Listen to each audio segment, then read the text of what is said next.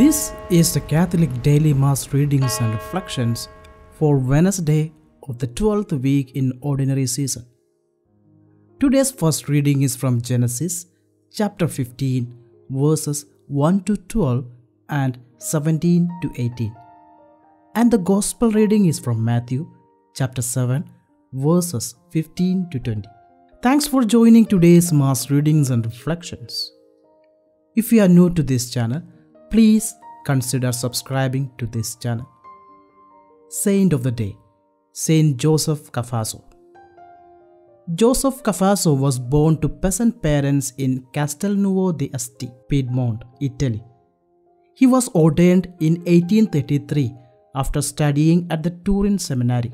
Despite a deformed spine, he continued his theological studies at the seminary and University of Turin, then at the Institute of St. Francis, where he became a brilliant lecturer in moral theology. He was a popular teacher who fought state intrusion into church affairs and actively opposed Jansenism. In 1848, he succeeded Luigi Guala as rector of the institute, and his holiness and insistence on discipline and high standards left a lasting impression on his young priest students. He was in high demand as a confessor and spiritual advisor, and he ministered to prisoners working to improve their dreadful living conditions. In 1827, he met Don Bosco, and the two became fast friends. St. Bosco's decision to work with boys was made possible by St. Joseph's encouragement. St. Joseph Cafasso served as his advisor, assisting him in the establishment of foundations and persuading others to fund and establish religious institutes and charitable organizations. St. Joseph Cafasso was canonized in 1947. The 23rd of June is his feast day. First reading from the book of Genesis, chapter 15, verses 1 to 12 and 17 to 18. The word of the Lord came to Abraham in a vision Fear not, Abraham, I am your shield. Your reward shall be very great. But Abraham said, O Lord God, what will you give me? For I continue childless, and the heir of my house is Eliezer of Damascus. And Abraham said, Behold, you have given me no offspring, and a slave born in my house will be my heir. And behold, the word of the Lord came to him This man shall not be your heir, your own son shall be your heir. And he brought him outside and said, Look toward heaven and number the stars. If you are able to number them, then he said to them, So shall your descendants be. And he believed the Lord, and he reckoned it to him as righteousness. And he said to him, I am the Lord who brought you from Ur of the Chaldeans to give you this land to possess. But he said, O Lord God, how am I to know that I shall possess it? He said to him, Bring me a heifer three years old, and a she goat three years old, a ram three years old, a turtle dove, and a young pigeon. And he brought him all these, cut them in two, and laid each half over against the other. But he did not cut the birds in two. And when and when birds of prey came down upon the carcasses, Abraham drove them away. As the sun was going down, a deep sleep fell on Abraham, and behold, a dread and great darkness fell upon him. When the sun had gone down, and it was dark, behold, a smoking firepot and a flaming torch passed between these pieces. On that day, the Lord made a covenant with Abraham, saying, To your descendants I give this land, from the river of Egypt to the great river, the river Euphrates. The word of the Lord. Thanks be to God. Response, Responsorial Psalm. Your response The Lord remembers his covenant forever. Give thanks to the Lord, invoke his name, make known among the nations his deeds. Sing to him, sing his praise, proclaim all his wondrous deeds.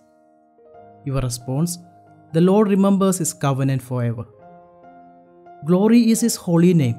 Rejoice, O hearts that seek the Lord. Look to the Lord in his strength.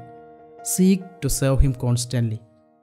Your response The Lord remembers His covenant forever. You descendants of Abraham, His servants, sons of Jacob, His chosen ones. He, the Lord, is our God. Throughout the earth, His judgments prevail. Your response The Lord remembers His covenant forever.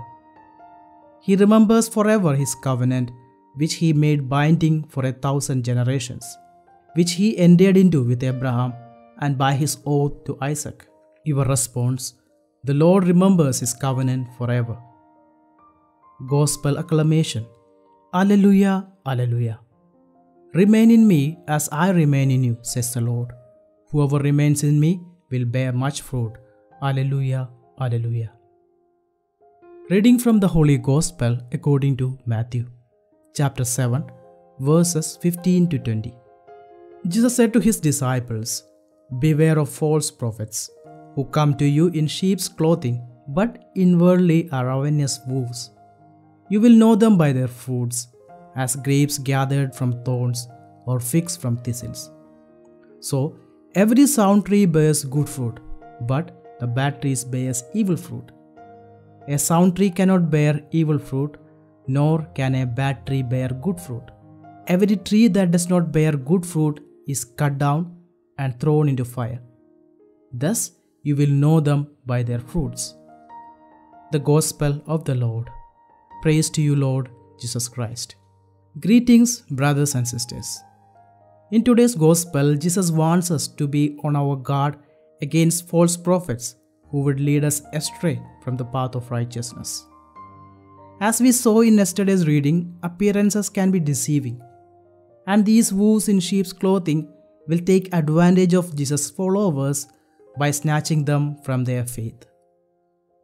False prophets may claim to be speaking on behalf of God, but their teachings are in direct opposition to the gospel. Of course, the fact that they exist within the church community does not negate the fact that there are genuine prophets and teachers in the world.